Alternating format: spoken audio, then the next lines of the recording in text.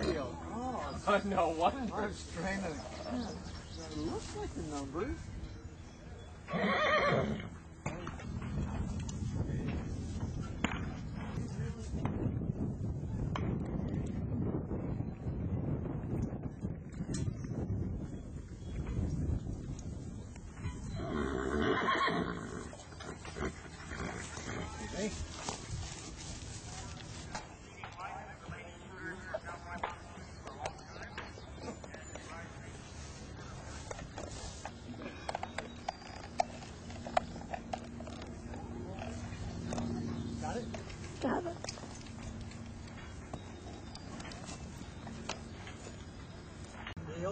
you can take him to the water, the, the guru can lead him, but uh,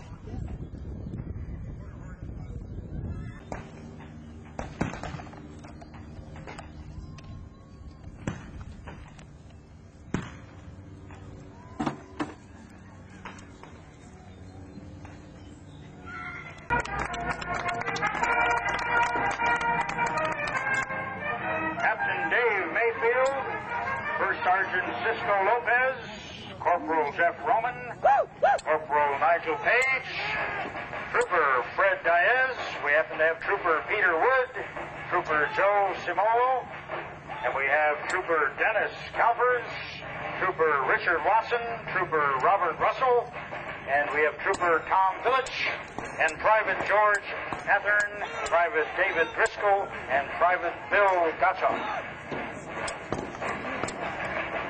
Happen to have our scout with him too. And of course, in the Arizona territory, we happen to have our Apache scouts. Peaches, of course, was one of the famous Apache scouts.